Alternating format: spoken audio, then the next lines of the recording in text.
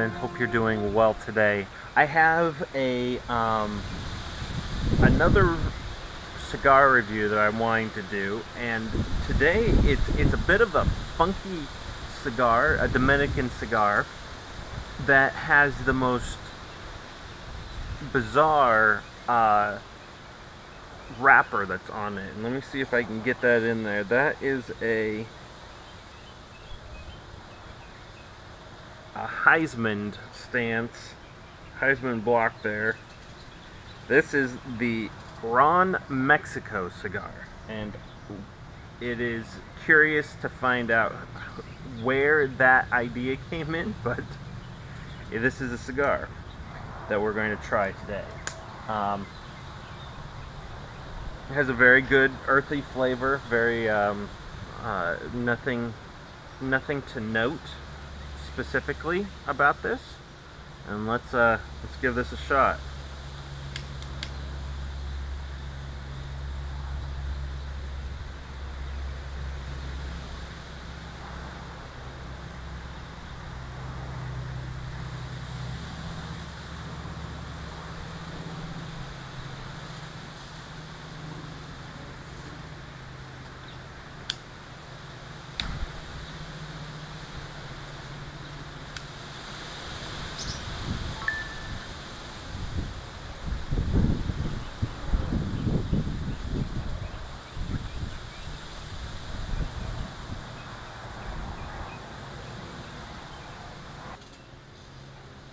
Well, as I get into this cigar, I want to, I just want to let you know that I am very grateful that you guys uh, come around, watch my videos. Uh, I would, I would love for you to like, comment, subscribe, and uh, let me know if you've had this particular cigar, the Ron, the Ron Mexico cigar from the, uh, it's a Dominican cigar.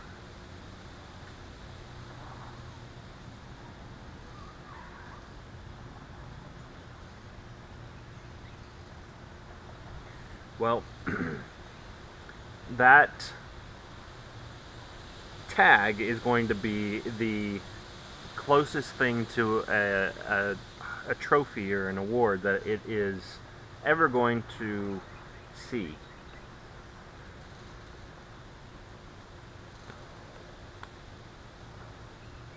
It's a very, very mild cigar. Extremely mild, in fact and I have to say, um, there's just not much to it. It's an unremarkable cigar. However, I will say,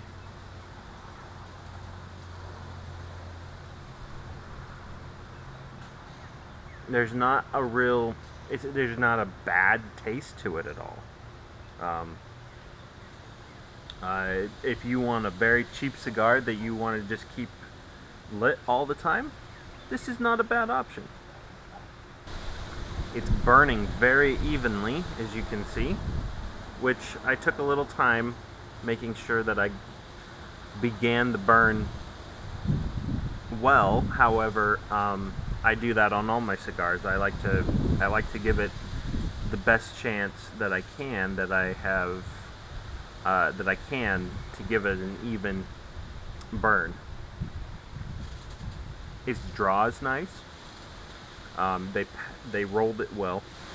After a moment, there does settle a, a, a very stale cigar taste on your tongue, but it's not it's not overt. It there. I mean, there's definitely the cigar taste, but it's not. It's it's not overt. It there's some that don't do that that I've had recently in this pack of samplers that I'm slowly going through, but the front end is not bad at all. There is just again unremarkable.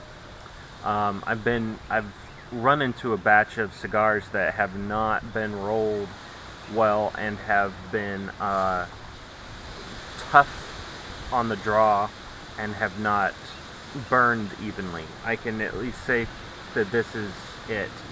If you're wanting a cigar that you can keep lit all day long, that doesn't smell too bad.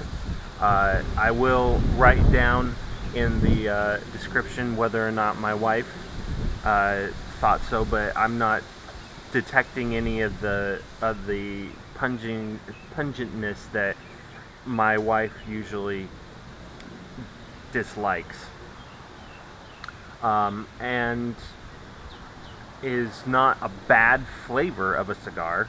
Uh, it might be bland and unremarkable, but you, if you want to keep a cigar lit, this isn't a bad one to uh, bring to the table.